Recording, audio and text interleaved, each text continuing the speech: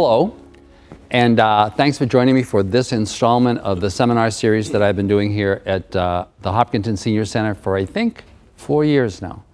Uh, for those of you who don't know me, my name is Arthur Bergeron. I'm an attorney. I work at uh, Mirick O'Connell. There were 68 of us there. We have a lot. Uh, as a result of there being that many lawyers, there are about 40 in Worcester and 20 here in Westboro, close by, and then another 10 in Boston, which doesn't add up to 68. I don't know why that happens. So um, the nice thing about there being that many lawyers is that everybody gets to specialize, and I do nothing but elder law. Um, a lot of my presentations are on specific, uh, we'll, we'll call legal, more legal elder law topics. Um, this one is about something which is, I think, more important. I think more important to many of my clients, um, which and to all of us, which is to, is making sure that you have thought out um, how you want to be treated if you're really sick, uh, especially how you want to be treated if you're in the condition that you can't tell people how you want to be treated, right? Because at that point, imagine what a bummer that would be that you're in the hospital or wherever and you, you're being treated other than how you want to be treated and you're conscious but you can't say it. How bad is that, you know? So I want to talk about that and specifically about it in the context of the Honoring Choices, um, um, I will call it an initiative. Um, Honoring Choices has, is, being, is being the main kind of uh, person who's running this is an attorney named Ellen DiPaola. Um, there's a website if you want to learn more about Honoring Choices. And their whole point is to encourage people like you to have these kinds of, to think about this and to have these kinds of conversations. Um, so I wanted to, and, a, a, key piece of this is the healthcare proxy, uh, the document through which you empower someone to make decisions if you're unable to make them yourselves. Uh, and so I'm going to talk about this, that a little bit. Uh, a second key piece is the so-called MOLST form, M-O-L-S-T, Medical Orders for Life-Sustaining Treatment.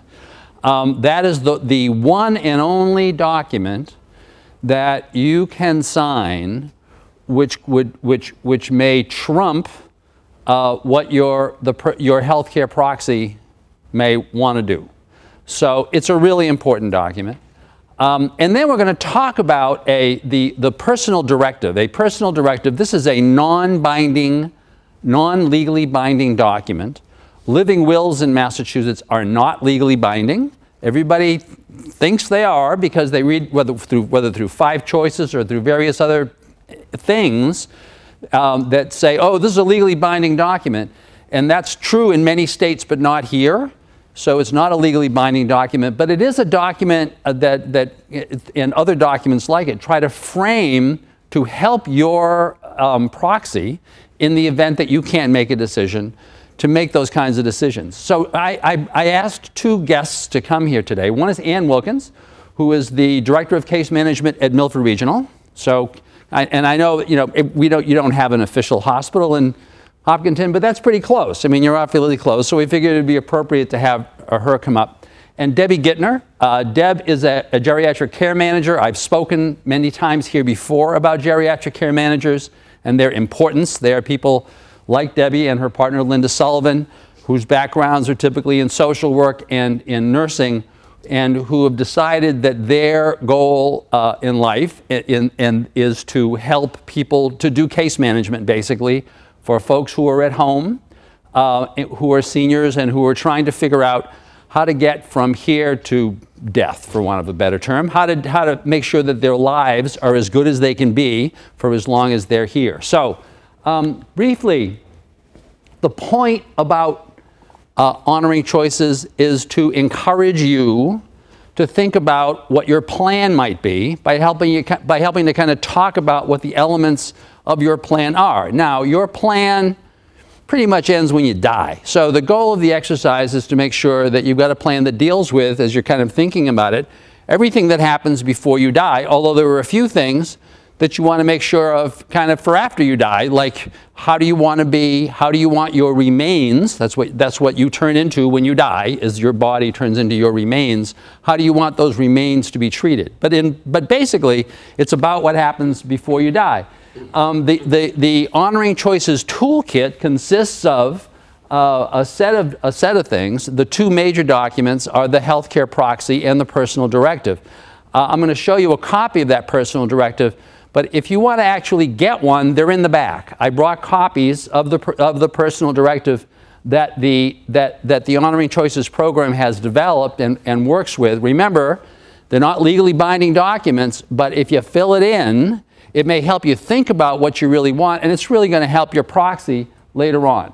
Um, now, the healthcare proxy, I believe that we, we even brought copies of the healthcare proxy that they use, although there are a number of these. I'm going to talk to you very briefly about. So here's, here's, a, there's a little clip, a little clip, a little snippet of law. There is a little law to this. Um, healthcare proxies need to be signed by two witnesses. They can be anybody except the people that you're naming as the proxies.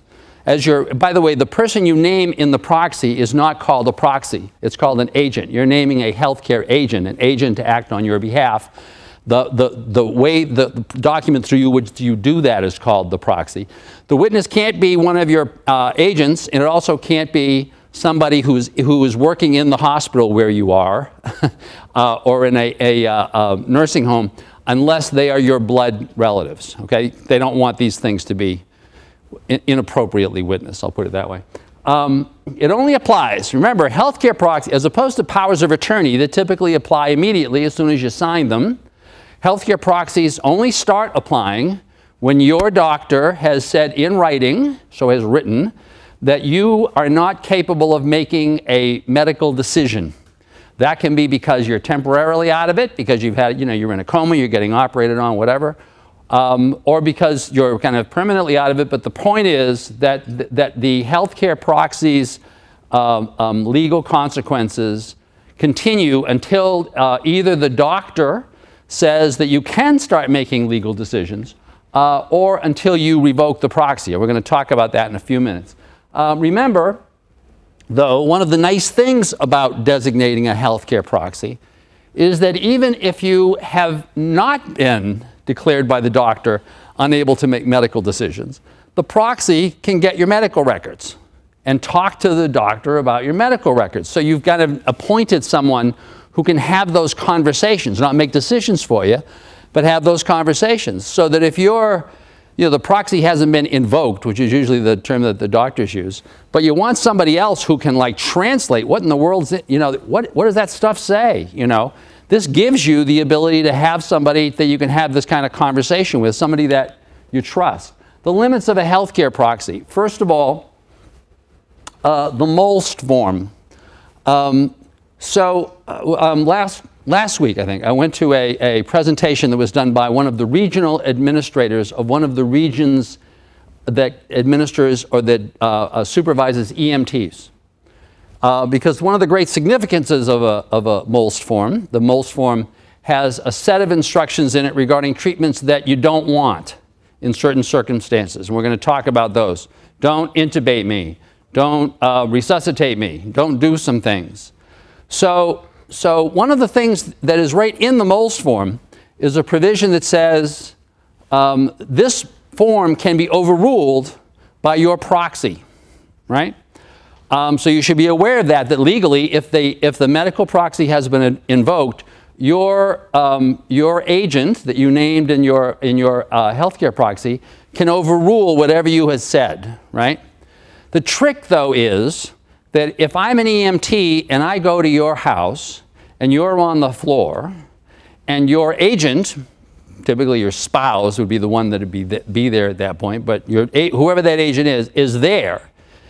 And they find the MOLST form. And the MOLST form is supposed to always be on the refrigerator, right? The reason why it's supposed to be on the refrigerator is because that's the only place that the EMT is going to look. They're only going to look on the refrigerator. If they can't find it there, they're going to stop because it's an emergency. You're on the floor, right?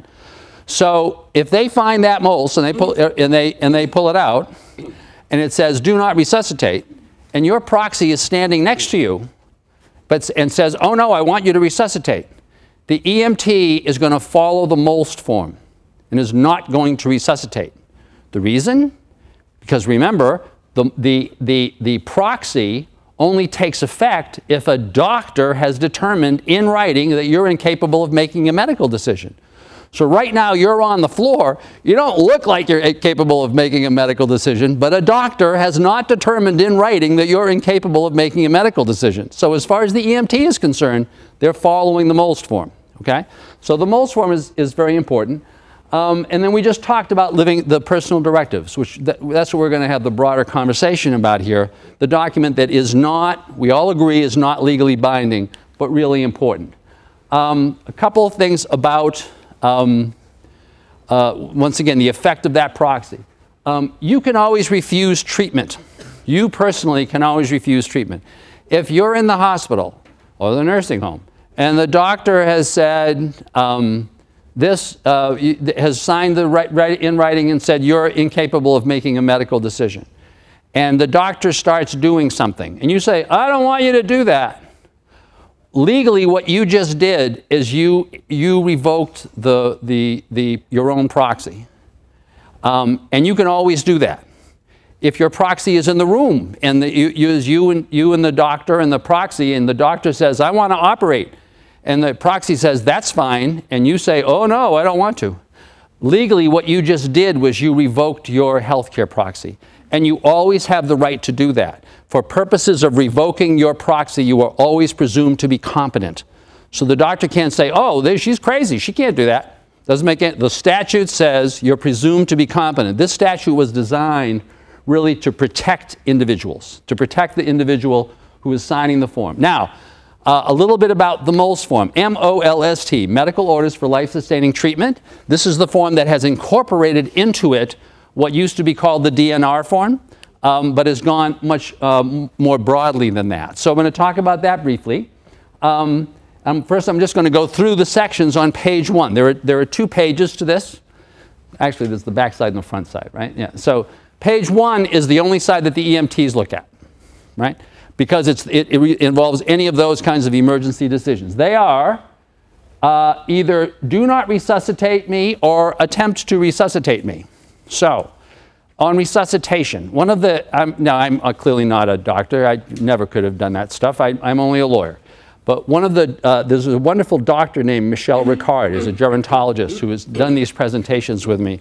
One of the statistics that she gives from a, a Canadian study uh, done a little while ago was that if you are over 70 years old and you get resuscitated, or a, a resuscitation is attempted, the chances of success are about 25%. That is, of getting you going again right there. The chances, it once, if they've gotten you going again, of your living more than 30 days are also 25%. So your chances of getting resuscitated and living more than 30 days are, is 5%. It's 5%, okay? And, and, and you want to think about that given the fact of what resuscitation is, that it is the, the, this pressing down on your ribs, and oftentimes through your ribs, oftentimes the ribs all get cracked, so that they can push down on your heart to get your heart to see if it'll start going again. So you need to understand that if, you, if, you, if resuscitation is attempted and doesn't work out, then what you've basically decided on if you're getting resuscitated, and this is what the EMTs will do unless you have a MOLST form or unless your proxy is there saying no is you've decided on an incredibly painful death. Incredibly painful, right? So, you know, and it's up to you to decide that. It may be that you decide, well, that's worth it for me, even though the chances are really low. It, you know, it, it's often much more worth it if you're 25 years old, and the reason why this happened was you got into a car accident or something, and chances are you're going to be fine, right? But it may not be, or it may be. But the point is, if you don't make the decision ahead of time in writing, then that's kind of what you're, what you're getting. Vent ventilation uh, similar, is a similar kind of thing. Ventilation uh, means basically taking a tube and putting it down your throat and pushing air into your lungs so as to get your lungs to breathe again. We're going to take all questions at the end. So as to get your lungs to breathe again. Um, it may be that you do want that, but it's, but it's not pleasant, right? And one of the issues once you've been intubated is that it's often tough to get deintubated. Uh, as I've heard people say at the hospital, you know, once you're intubated, nobody really wants to unplug you after that, you know, because they're all afraid of responsibility. So, so, so it's, it's a, a, an issue. Third, um, and this is the one I always try to emphasize, is this do not hospitalize question. if many of you have been to my presentations, you've heard me talk about my friends Frank and Mary and their kids, Peter, Paul, and Mary Jr. And, they, and what their goal in life is, is to die and be buried in the backyard. They want to stay in their house. Well, if you want to stay in your house, in this situation, you may not want to go to the hospital. If you want to die a natural death, trust me, it will not happen at the hospital. That's not how you die when you're in the hospital, right? So this is actually, to me, one of the most important things because the EMTs say if you've checked off in the box, do not hospitalize, no matter what anybody says, you know, when you're there in your house, they're going to leave you in your house. They haven't told me whether they put you back in your bed. I don't, I don't, I don't know that. But I know they're not going to bring you to the hospital. Okay? Um, you need to sign, right? Or uh, your um, agent, your healthcare agent, your proxy can sign for you and can change this form for you if the doctor has declared in writing that you're, that you're incompetent, okay?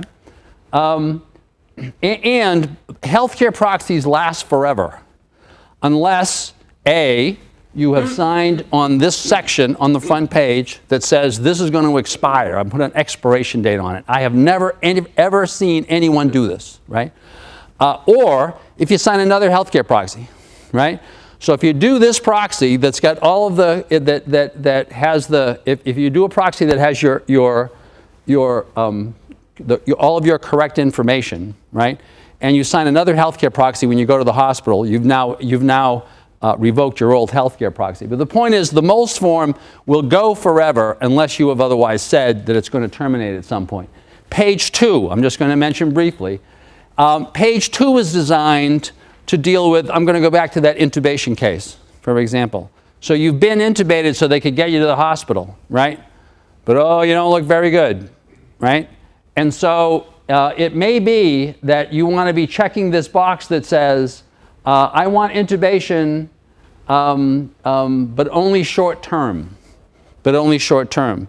So, so that you, it is going to be known that unless your proxy, your agent named in your proxy decides otherwise, if it looks like you're at the hospital and you, and you shouldn't be intubated anymore, they're, they're, they're going to be able to pull that out because you've said you only wanted it short term. Now, once again, that's a gray area where you don't want your doctor to have to be, right? So in general, you want to make sure that, there's, that, that you've got a proxy so that there's an agent so that once you get to the hospital, somebody can be figuring that stuff for you. Um, there, were several, there were several additional sections um, dealing with, with that, and I'm not going to spend time on those. The whole question of wh whether you want dialysis. Do you want to be artificially fed? Do you want to be artificially, um, do you want liquids to be artificially put into your, into your veins? All kind of questions that you want to talk to your doctor about. And by the way, your doctor um, really wants to talk to you about this. And not only that, even gets paid for it now. It, until, until January of last year, uh, doctors, if you, call, if you set up an appointment with your doctor to talk about how this plan was supposed to be working, um, your doctor may not have been crazy about doing this because it's a free visit, right? Because Medicare wouldn't pay for this. As of January of last year, Medicare, cha Medicare changed their regulations so that they will now pay for a half hour consultation with your doctor to talk about this stuff. Okay? Um, with that, I'm gonna, and we already talked about it, go to the refrigerator. The personal directive. So once again, there are copies of these in the back. I think you, and, and we're, and we're going to talk about the different sections of the personal directive. Because um, I think they, they may help you think about kind of framing um, what you may want to be doing, what you may want to be doing with the rest of your life, especially if, you, if you're starting to get frail. And for that, I'm going to sit down um, and, and with, with, with my friends Ann and Deb, and we're going to talk about those issues. So the first, the first of the sections of the personal directive talks about your personal values. So it talks about what are your preferences? So what are your values and beliefs? What do you think a good, qual a, a, qual a good quality of life is? What do you think makes life worth living? Has anybody here read um, Atul Gawande's book called Being Mortal? No? Okay, so I'm just going to, see, I don't often do this, but I'm, I'm recommending reading Atul, uh, Being Mortal, Atul Gawande, A-T-U-L, Gawande, G-A-W-A-N-D-E. So Atul Gawande is a uh, doctor who grew up in Ohio. His father was a, medic, a surgeon in India who immigrated uh, when uh, uh, Toole was very young. And he grew up to be a doctor, uh, be a very well known doctor who's practicing at one of the Harvard hospitals in Boston and teaches at Harvard. Um, but he wrote this book really to talk to doctors. But it's so wonderfully written. You ought to read this book because it talks about this whole notion that in, in today's world, um, you can live for a long time, a lot longer than you used to. It used to be, and I remember, I still remember this like just little chart that he had. He said, you know, the old way that you lived was you lived and lived and lived, and then all of a sudden you kind of fell off a cliff and things started slowing down, and then you died. And now that cliff may have lasted a week or it may have lasted a year, but it didn't last like for five years, right? But now he said, you know, you go along and then an incident happens. You have a stroke, you have a something or other, and, or you have cancer, right? And, but you live, right? And so now you're, now you're still living, but it's a little worse. You know, your quality of life isn't as good. You're more, you're weaker, blah, blah, blah. And then you kind of live, and then something else happens, and then you go down a little bit more. And that keeps happening until eventually you die. And one of the kind of questions in the book was, where along that continuum do you want to be saying, I don't want to try to get better again? You know, I don't want to try to keep living at the price of going down another notch, you know, in, in terms of how this, how this works. So, so those are my broad takeaways. But I wanted to talk to Ann and Deb because they're dealing with this all the time. Ann? Just a comment, very good book, but if you prefer to listen to it on tape as I did, it's, it's very good on tape as well. Um, but Excuse me, is she talking loud enough that you're going to pick her up? This is my friend from Hudson Hopkinton Cable. By the way, thank you, Hopkinton Cable, for doing this. Thank you. We appreciate this. Go ahead. um, I, I have just seen situations where um, people didn't think this through. And the people who suffer from it are your families. So it's really a kind and helpful thing to do for your family to think about this, to write down what you want to do, because I can guarantee you, at the end of your life, as it was at the end of my own mother's life, you struggle with those decisions. What would she have done? What would God want me to do? You know, all of a sudden now we've got God in the picture. I remember saying, is this an ordinary or an extraordinary thing that I'm doing, taking my mother off life supports? So really, to, to, to put the, it's not a pleasant thing to think about. It's not a pleasant thing to hear about when we hear it, but it is the reality of the situation. And if we put some thought into that and put those thoughts out on paper, the benefit to your family members or your loved ones are beyond measure. You And- and- take guilt away from it. You take guilt away. And, and I'm going to ask Deb to comment. And by the way, as opposed to my usual format where I only take all questions at the end, I'm going to do them by section here, so that if there are people who've got particular questions or comments regarding any of these, I like, we'd like to hear about those as we go along. Deb? And the statistics that I just read, 90% of people think about their own mortality. You know, what do I want? Do I want resuscitation? It crosses our mind. 90% of people think about it. 27% actually put something down in writing and talk to their family about it. Because it's easy to think about it, it's harder to talk to your family. And that's the gap that you're addressing mm-hmm. is mm-hmm. families are in the emergency room or faced with life crisis and really are struggling. What, what, what did my mother say two years ago? Oh my gosh, I didn't listen hard enough when we had that brief conversation because we were talking about somebody else getting sick and dying and my what did my mother say? What did my father say? Did I did they want that? Did they not want it? I'm right now going through a personal situation with my father-in-law. October 28th, he was sent to Metro West Hospital. They did not have the sophisticated um, means to manage his medical care and rushed him to Mass General Hospital that afternoon. And my husband went with him in the ambulance.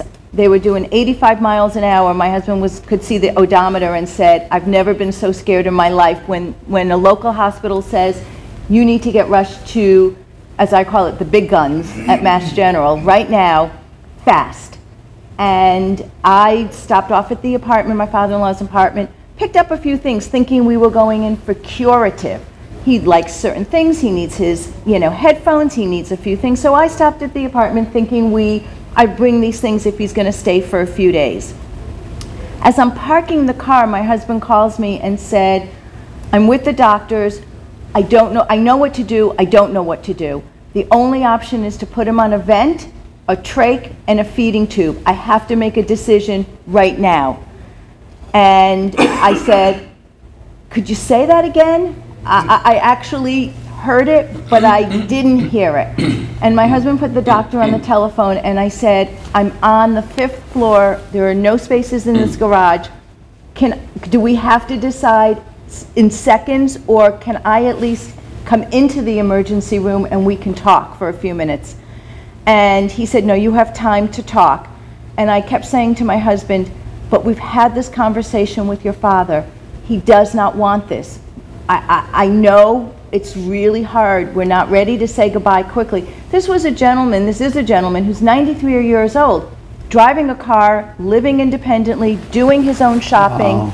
Um, we provided no care, dressing himself, volunteering on a weekly basis in a local nursing home. I mean, he was not ill. The last time he had a health physical was December 2016. We had another one scheduled with his primary care for this December. He was that healthy. Took a little bit of meds for high blood pressure, cholesterol, but it wasn't causing him any, any issues, any medical issues. So again, I, I got into the emergency room and I kept saying, we ha- I brought the piece of paper that ha- I had made sure my father-in-law had written with his wishes. And I said, they're here. We have to honor them. Not that we wanted to say goodbye at that moment and not that we wanted to deal with it on a Saturday afternoon when I'm driving in thinking curative, not finale, finality here. But we chose not to, with tears in our eyes, with a hard heart, we had to say and show the doctors the paper and kept saying, we are following his wishes. We are following his wishes. He was, although he was, although he was very ill, we mm. asked him one more mm. time, just in case he changed his mind, because we needed to mm. know that now we're in a crisis. Do you change your mind? Because we will do what you want. And he heard us, he heard the doctors, and he kept saying, no, no, no, no. And it was very hard because they expected him to pass that night. So much so that Mass General said to us, we're going to put you in a private room. They gave us the most magnificent room on the 22nd floor overlooking the Charles. I mean, we had not only a beautiful room, but we had a desk, a chair, a couch, I mean, everything so that we could stay overnight with him and we could be with him. That was the plan. Now it's November 7th. He has chosen no feeding tubes, no ventilation, no trach, no NG tubes, nothing. He's still here. I'm not quite sure why. We are slowly watching him decline because he's had no water and no food since that Saturday morning. And even with hospice support, it is difficult to watch, but what we continue to say as a family is this is his wishes. It's hard for us, it's got to be harder for him. And, you know, again, he does, did not want this, and it's a struggle for him, but it's his choice, his life. And I think when he does pass, we're going to say he did it his way, and we're going to hopefully feel good that we have allowed him to pass the way that he wants on his terms. Um, Questions or comments? By the way, this is, and, and, and I always keep telling my clients, I say, you know, this is, don't make your kids decide for you, right? You decide. You, this is your life. This is your life. You, it's all well and good that, you know, oh, I really want to make sure dad's, you know, I, am going to fly home from Los Angeles. Well, that's great. So I can, you know, shake his hand before he dies. But do you want that? I mean, do you, do you want that? Do you want that? Ex- it's your decision. Questions or comments about any of this or, or related stories or anything? N- No? I can d- share with Ann, I have watched families, you know, I've been a clinical social worker for well over 35 years. I don't want to quite give away my age completely. Um, But I have watched families struggle, I've watched siblings fight, n- you know, in the emergency room, in a, in a room, in a patient's room, in a nursing home. Um, I think this is what mom would want, I think this is what dad would want, and they don't always agree you know, children have different relationships with each of their parent. They love them all the same, but they also have different bonds. And some may be willing to say, it's time, a little bit easier. Some may say, have a little bit of guilt and say, I don't want them to go. I don't want to say goodbye. And it's not about what their mom or dad wants, but it could be about what the sibling wants. And again, that's why you, it's, it's hard to have that conversation. It's even harder to write it down, but it, it is very much important. On the Honoring Choices site, there's a place called CAKE, and I don't know why it's C-A-K-E, but if you get into that site, it asks you question by question. And this is a document that can help you formulate your decisions. And there's also a place for I don't know. I don't know. So it's something that you can go back to, look again, think about it, talk to your primary care physician, talk to any specialist. If you see a cardiologist, if you see a GI doctor, you know, talk to them about your disease and your prognosis. Talk to your children and say, you know, I'm ambivalent about this. In this situation, would, maybe you could start, but take it away. Maybe you can't. But at least they know that you're ambivalent about something. So in that crisis, they can say to the doctor, if you try and it's not successful, can we then stop something? And, and there are times that that can happen with intravenous, with certain medications. You know, some things are cut and dry, like starting resuscitation. There is, it's either yes or no. Um, but other things, sometimes you can try and then pull back from. So, A- Ann, I'm curious, so if you have someone at the hospital who, who has not done this, right, and doesn't have kind of a, but who can still kind of communicate, do- do, is, do, do do you folks actually regard it as part of your, your charge to have some of those conversations? Or are you focused more primarily on, you know, your, here's your time here, because these folks may be going home, because these folks in many cases may be going home. And I guess I'm especially interested in terms of this whole question of what constitutes a kind of a good life, you know, or, can you just talk to that? Sure. I, from the very beginning, um, my department is a department of nurses and social workers.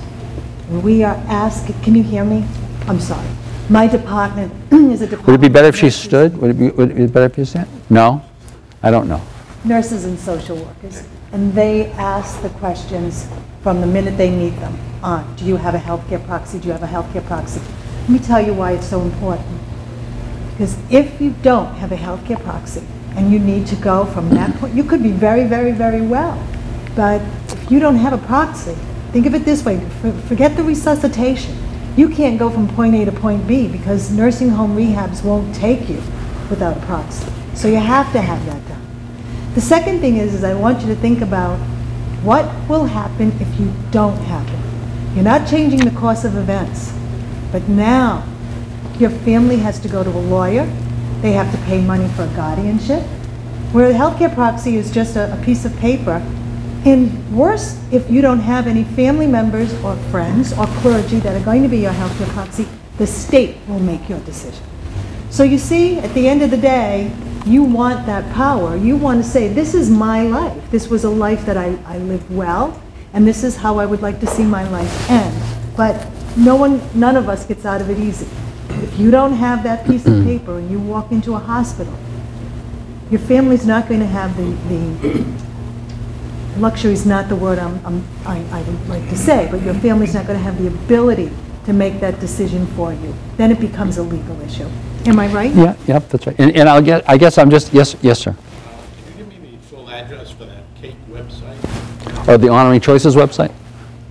If I, i- i- is it, did I, did I not put it on the, on the, on, on that slide? I think on the Honoring Choices slide, if I recall correctly, that website is there. If not, I'll- if not, we'll find it. Yeah, I Well- have some papers, and I'll be happy to share that with you. Yeah, because some of the, the uh, we, as I mentioned, we brought copies of several of the forms from, from the Honoring Choices website, and they're on the back shelf, and I'm sure that website, the, the website address is there, right? But by the way, that, that, that leads me to realize I should, if it isn't on a slide, I'm looking at the, my, my friend from, from Hopkinton Cable, we'll, we'll get a banner to make sure that it's there for other people who are watching this show. Okay? Other questions, comments on, on, on, on here, okay? that- but, and I'm just gonna, I'm just gonna mention one other. Remember, so if you're in the, you're in the hospital and, and if the healthcare proxy has been in, it has been invoked, right? Um, then that person is also making decisions, maybe not life or death decisions, but decisions regarding what the course of your care is going to be. Are we, are they trying to design a course of care that's getting you home? Or are they not? Because, you know, you've, you, the- because your, your agent feels as, that, as far as you're concerned, that's not what they're trying to do, right? Those are really important decisions, and, and those are, uh, those are directions which your agent is now making for you, if you've got a proxy. But if you haven't told them what direction to take, he's flying blind. I'm just going to give you one, other thing that I want to mention. So Deb was referring to that conversation, that, in, or that trying to remember. So what did Ma say exactly, you know, about how she would, you know, wanted to be treated? So imagine that you're the, the, the, you're the sister that lives in San Francisco and wasn't at that conversation. And now Ma's in the hospital, right? And your sister, who you might get along with or might not, you know, is saying, no, Dad really wanted me to unplug him right now, right? So, and, and, and, and the one that's over here is the proxy, but the one that's in San Francisco is getting really angry, saying, oh, I don't think that's what Dad would have wanted at all, you know? is, wouldn't it be great if there were a writing, right? Not a legally binding writing, right? But just a writing from you, from you to your agent saying, so this is how I want this to happen. So in terms of that, your agent dealing with typically all the other kids, this is usually what happens, right?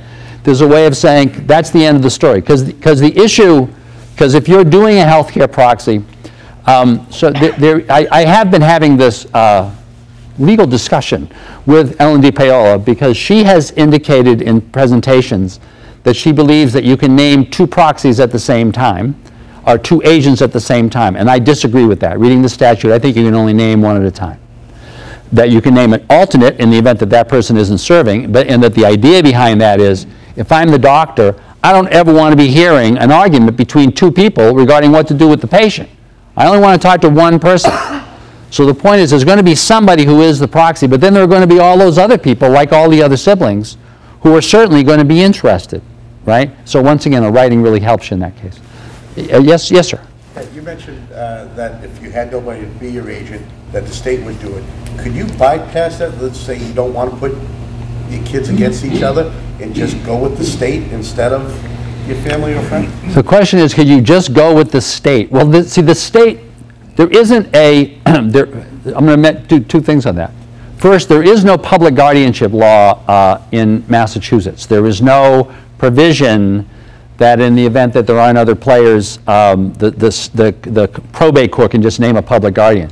I'm going to say in parentheses, I'm not sure that I'd want that either. I just read this article, it was in the, in the New Yorker two weeks ago, about the, the, the Nevada, where there is a public guardianship law, and where there have arisen these predators, for want of a better term, right, who have basically gone, in, gone into cahoots with some of these fo- folks from the hospitals or from the nursing homes that, that don't want to take responsibility for these people so that they could get themselves named public guardians and then they're in control of these people's lives and assets, and they're making a bundle. So it's not clear to me that's the direction we want to take, right? I, I kind of like the idea. So I courts, was cautioning against that. I wasn't suggesting that. right, right, right, right. But so, so in these, so in, in these cases, typically courts will appoint though a third party. They'll appoint a lawyer. They'll appoint a, some, a somebody else, right? Can I also make a comment before we get to the next questions?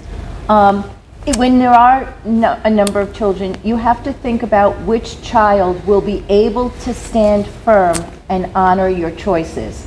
And you're not choosing one because you love one better, but you may Right. choose one because you know, as in my husband's, as in my father-in-law's situation, he chose my husband because he knew that he would do Because he, it. because he knew that her husband was married to her. That was the main reason, right? And, and that, you know, my sister-in-law would not have stayed firm and followed his wishes, and my brother-in-law would have just easily, because he kept saying, don't do that, don't do that. So it isn't that, um, they, it's not that my father-in-law loves my husband more, it's just that he knew he would stay the course, um, as hard as it is. So when you choose somebody, whoever it is in your family, make sure, you know, everybody knows, I think they'll be able to do it the easiest. And that, that's a good point, because it may not be your children at all. It may be your best friend, and your children don't have any recourse to that. This is a choice you've made, so pick the person that you know will, will carry out your wishes. And I just want to say one other thing, because I know we're talking a lot about pull the plug and pull the, we've had situations in the hospital where it's just the opposite, where a family has said, if it were me, I would probably take them off the vent, but their wish was to have everything done. So as long as you know, we follow that wish no matter which way it goes. If you Yes, have a yes, yes, ma'am. If you have a power of attorney in addition uh, to the medical person, wouldn't your power of attorney take over? The question is, if you have a power of attorney in addition to the healthcare proxy, in that case, wouldn't your power of attorney take over? And the answer is usually no. Already? No, usually the, usually the, the, it for a couple of reasons. One, the, the power of attorney, um, um, the, the, the point of the power of attorney is to have somebody make sure, have somebody who can take care of your legal issues for you. And I always tell people, your attorney, your, your agent there, and that's called an agent also, or an attorney, an attorney in, of- in fact, um, it can do everything for you except make your medical decisions, right? Now, you could try to design that power of attorney so that it also include those powers.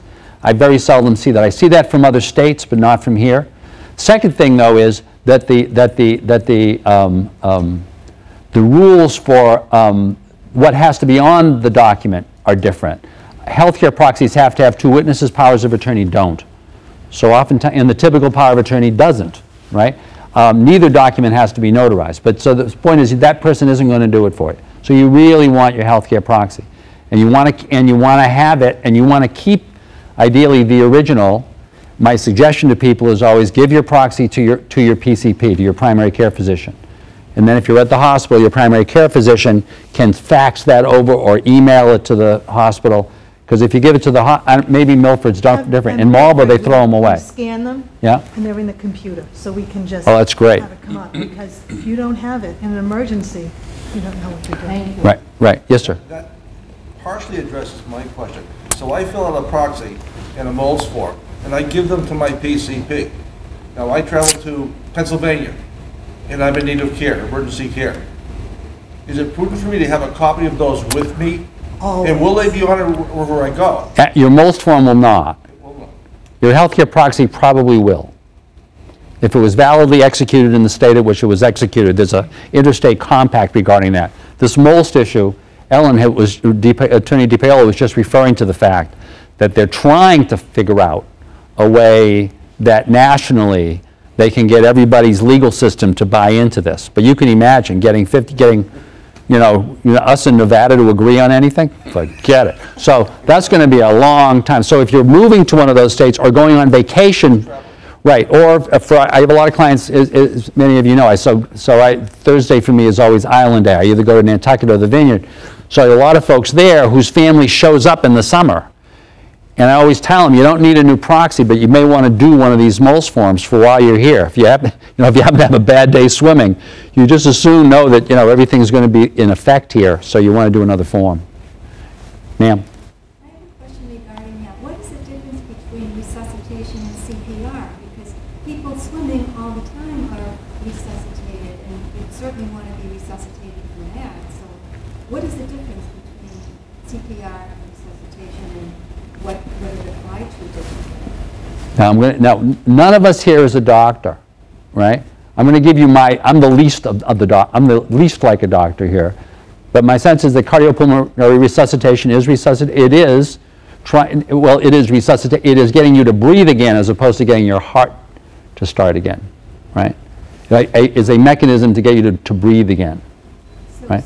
So it's more like artificial, whatever it's called, I don't know. Sounds, If I can take a shot at it. Yeah. CPR out in the field, they, they call it out in the field, is, is, um, as Mr. Bergeron pointed out, there's no one out in the field to tell them what to do. So they're going to keep doing that CPR. But when you get into a hospital setting, um, now you've got much more than CPR. You've got drugs administered. You've, you've got, a, as Mr. Bergeron said, they're going to crack your chest open to get to your heart. So it's much more um, uh, big guns, so shall I say, that they, they bring out, as Deb said, um, in a hospital setting. CPR out in the field is just that. They're doing that out in the field until they get you to the emergency room. So if you sign that do not resuscitate because for the purpose, you don't want to be, yeah. you know, just out of nowhere resuscitated, if you are swimming and you swallow water and you- they, they would have, and you have the form nearby, for instance, they would not be able to um, resuscitate you from even that situation, which a lot of people recover. You're, it's, it's not that they're not allowed. Remember, you are giving a person the ability to make the decision for you. Once the doctor says that you can't. no, but but you're talking about the MOLST form. Oh, And, and, form. and that's a very interesting question. I'm going to go back and talk to my EMTs about that. I guess I, I would just make the observation that chances are, when you're on the beach, you're not close enough to the refrigerator that anybody's going to see the MOLST form. But, but I don't, but I don't know the answer. I don't know the answer to that. will err on the side of life, remember that. They're always going to err on the side of life. That's right.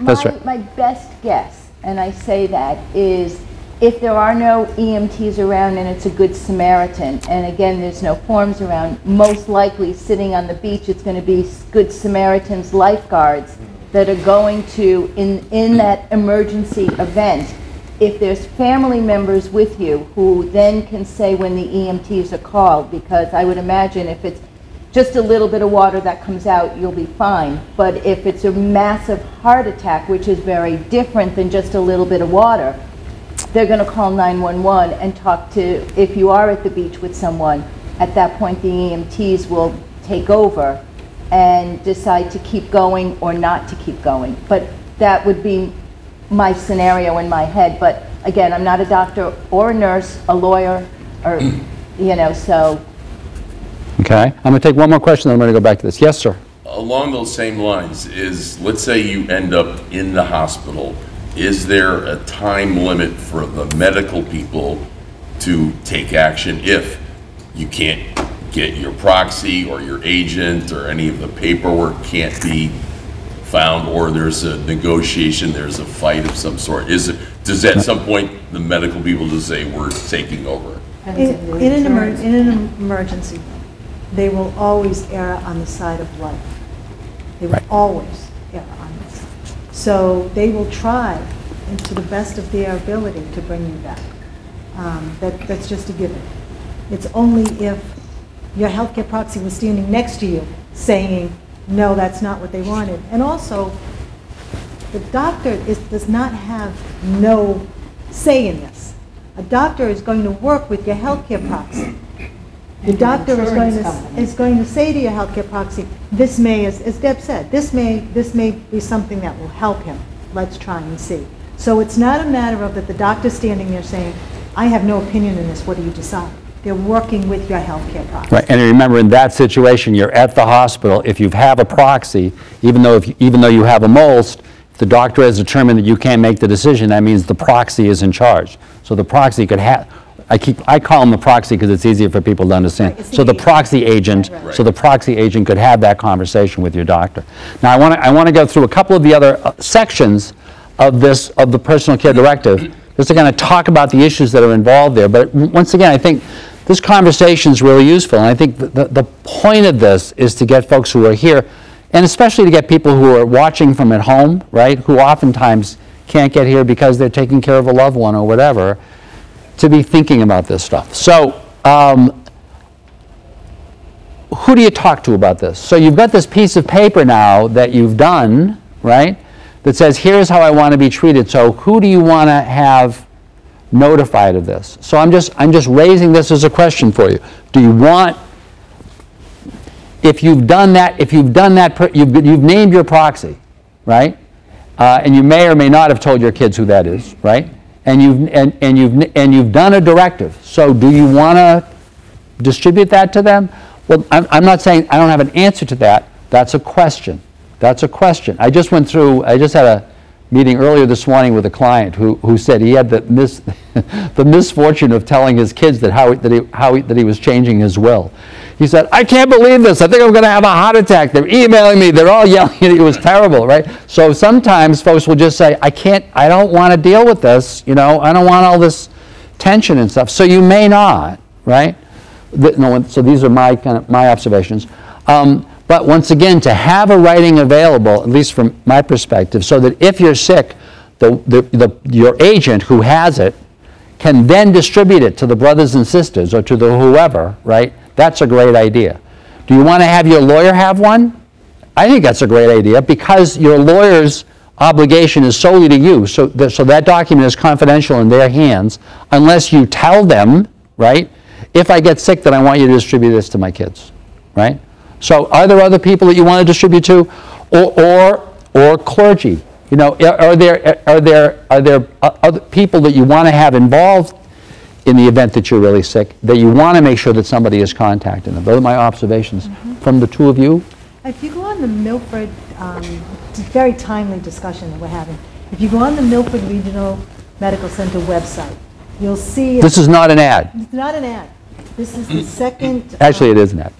Because it's good, because they're the regional hospital, right? But, but in the second, uh, in the left-hand column, it'll say Advanced Care Planning. If you click on that, there are lots of information from the um, uh, IHI explaining how to pick a The, in- the, ins- the IHI. Institute of of For- Health, oh, IHI. IHI, because I was trying to remember it too, because as I was saying it, health improvement, for health improvement, Health improvement. IHI. Terrific organization, once again, uh, uh, uh, developed actually by a set of players out of, out of Harvard. Right. That guy named Bur- Bur- Berwick, Berwick, Yes, it's called. Don Berwick, the guy who, who got rejected as Secretary of Health and Human Services nationally because he was too liberal. This was by, when the Obama had proposed him. He actually d- developed all this, It's really terrific stuff. And, and if you read through that, I mean, you certainly don't have to use Milford Hospital, but I'm letting you know on that website, there's a lot of information, if you'd like to just peruse that as well, is what you're receiving here. And you can see the reason, you know, one of the reasons the hospital is doing this, they, this really helps them. You know, this really helps them. One of the things that Ann and I were talking about earlier was, was actually kind of thinking about, you know, e- even trying to develop some kind of a conscious outreach effort within the towns mm-hmm. in your area, right? So that you can, so that you can really encourage, pe- especially people over 70. You know, because I mean, who goes to the hospital? Sure, everybody goes to the hospital. But the older you are, the more the chances are that you're going to the hospital. And so if, if imagine if they knew that 100% of their people walking in the door, they knew how to, they knew who to call right off the bat, right? Because they knew they had a proxy, right? How, how, how much, how much better is your care going to be in that case, right? And also, um, honoring choices also has, if you just keep clicking on, there's a lot of reading material, but they also have definitions. What is advanced planning? What is CPR? What is resuscitation? And then this is the conversation that you then take to your physician and say, I've been reading, tell me more about this topic so I can make a decision for me about myself. And, and uh, I think we've talked a lot about this already in the context of, so what are my treatment choices if I'm really in bad shape? Like, do I want to get treated or not? But think about this in terms of, so you're incapacitated, you can't communicate for whatever reason, you've had a stroke or whatever, but you could be living for a long time. And, you know, there are questions about, but, it- but you have cancer. Do you want chemo? Do you not want chemo? There are a bunch of kind of, of, of very large, major health-related decisions that aren't those kind of final end-of-life decisions, you know, do I want this or not? But kind of what direction do I want to go in? And, and once again, assume you can't make those decisions. We always think about the pro- uh, proxy as only being used if you're about to die, you know, as opposed to it being used, I mean, I've had clients where the proxy's been in, in, in place for 10 years, right? People have made a ton of decisions, right? So, so what, are the, what is the direction that you want your life to take, assuming you can't communicate it? Other comments, stories related to that? To that? I, I, I have a funny one that jumps out. Good. do that. little known fact, if you have a healthcare proxy and you uh, get a divorce, Oh, I should have said that. your healthcare proxy, it's good to know, is null and void. Null and void. Unless you want that person to be your healthcare proxy, and then you have to do a new one. That's right. That came from the famous Terri Schiavo case. Right, right. By the way, the reverse of that is um, if you have a will uh, and you get divorced, the will is still in effect, so you have to change your will. But if you get married, the marriage automatically invalidates the will. Don't forget, unless your will specifically says, I intend to go marry so-and-so, and I specifically intend that this will will survive. It's a little known but interesting legal fact. Yes, ma'am? Would you dare to address the issue of physician-assisted suicide? Physician-assisted suicide. not That's legal in becoming this more state. common, and there are mm. people, that's a doctor, as you know, who's pushing it out. But, it, but, it, but not legal yet in Massachusetts, right? Not legal yet in Massachusetts. But it, un, understood. I'm not sure that we want to go there only because I'm looking at my clock and I have two minutes left, and that's not a two-minute topic. That's a pretty, that's a pretty large topic. Um, notes on a peaceful death and final days. Um, so one of the, I was recently talking to my uh, my wonderful paralegal Brenda Costa, who's who's you know who's, who has been here before, together with Cindy Cormier, who's thank you in the back of the room, and we were talking about this in terms of you know she was, talking to her folks about this. So if you are if you are frail and maybe dying soon because we all because death is only death is just right? Death only takes a moment right? It's the dying part that takes a little bit or a lot of time. Um, the question is how do you want to spend those last that last how do you want your last day to be so i'll tell you i'll tell you one story related to this i get to do one one story so um, um, i had a partner for years and years before i moved to Mark o'connell we were partners for oh 33 years uh, and he found out about four years ago that he had cancer. And, and they said, well, you know, here, so here's the story. The good news is you got a lot while left to live because it's very slow growing. The bad news is it's slow growing, and so we didn't find it until now. So you're definitely going to die soon, right? But soon's going to be like six to 12 months. And he took it in stride. It was the most um, incredible. He lived for another 18 months, and he just said, you know, he went home, put up a sign in his bedroom for his wife, no tears. We're having no tears here. And, and, and his position was, I'm going to take chemotherapy to slow this down as long as I'm not going to get nauseous. Because I'm not going to waste a single one of my days trying to make, to get an extra day in which I feel crummy, right? I'm going to live all good days. So, and he loved fishing. And he continued to be not only active seeing his kids, but he kept fishing. He kept going to New Hampshire, and he would have this inflatable boat that he put on top of his head. And he'd park along the, near the woods, and he'd go through the woods with his boat, and he'd drop it, you know, or he'd inflate it then, and then he'd go fishing. And so Thursday before he died, the Thursday before he died, he was out fishing in his little boat. And I got this story from a good friend of his who I was one of the speakers at his, his memorial service, and so was this other guy who said he talked to David that day, uh, it was a Thursday. David Gadbois, this wonderful, wonderful local lawyer, uh, whose wonderful gift in life, but his greatest gift was the way in which he died, the way in which he lived his last 18 months. Um, and so th- this other guy called him. Said, David, how are you? And they're just talking. He's fishing. It's late afternoon. David says, oh, wait a minute, I got a call. He gets another call. And he says, I, I got to take it. It's my doctor. So he takes the call, and then he goes back to his friend.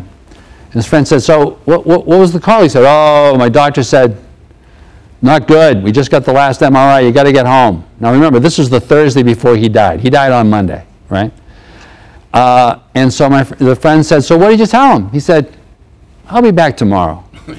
so now I'm imagining David, who love fishing, in his boat, and there's the sun setting. You know when you have people say, try to live each day as if it's the last day of your life?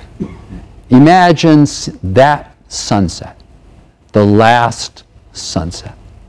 So the question is, if you're incapacitated and you can't tell your caregivers what to do, what do you want them to do, right? Do you want to be in the hospital? I shouldn't denigrate the hospital. You're a hospital, right? But I mean, do you want to be in the hospital? Do you want to be watching? the hospital, but I wouldn't want to spend my last hours. No. Do you want to be watching the sunset? Do you want to be going to the beach? Do you want, what do you want? What do you want?